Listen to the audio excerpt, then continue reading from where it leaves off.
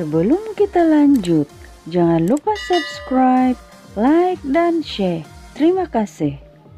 Ahli Parlimen Sikh Ahmad Tarmizi Sulaiman menyifatkan kenyataan Lim Kit Siang bahawa langkah perlu diambil bagi memastikan Malaysia tidak menjadi negara Islam dalam dua kali lagi pilihan raya sebagai tidak bertanggungjawab dan merupakan hasutan bagi membangkitkan isu perkauman berasaskan agama. Menurutnya, kenyataan yang bersifat provokatif dan ekstremis oleh ahli politik veteran DAP itu perlu disiasat oleh pihak berkuasa.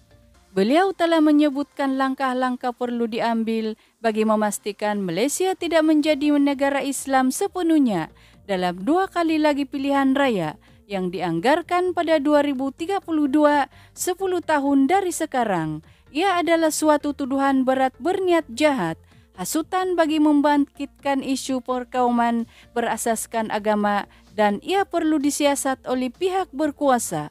Perkara ini jelas menunjukkan beliau seorang yang tidak memahami perlembagaan Persekutuan Malaysia yang menggariskan Islam sebagai agama rasmi persekutuan, bahkan menjadi ejen penyuntik Islamfobia di kalangan masyarakat majmuk di Malaysia, katanya dalam kenyataan. Lim pada 9 Desember lalu berkata, kerajaan harus melaksanakan dasar-dasar reformasi dan program pembinaan semula negara bagi mencegah Malaysia tenggelam dalam gelombang hijau pas.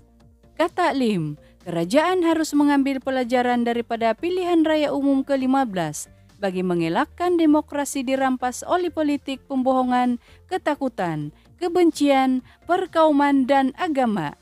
Katanya lagi, langkah itu boleh memastikan Malaysia tidak menjadi negara Islam sepenuhnya dalam dua kali lagi pilihan raya yang dianggarkan pada 2032 yaitu 10 tahun dari sekarang. Dalam pada itu, Ahmad Tarmizi berkata, PN enggan membentuk kerajaan perpaduan bukan karena membantah cadangan yang di Pertuan Agong seperti dinyatakan PH dan BN, tetapi enggan berkompromi dengan kluster mahkamah yang disifatkan seperti inau dalam belukar dan melepaskan pucuk masing-masing. Kemenangan besar Perikatan Nasional dalam merampas kerusi Parlimen Padang Serai daripada PH dengan majoriti lebih 16,260 telah menterjemahkan penolakan dan kemarahan rakyat terhadap kerajaan gabungan PH dan BN yang tidak telus bahkan sanggup berkompromi sehingga terpaksa melantik kluster mahkamah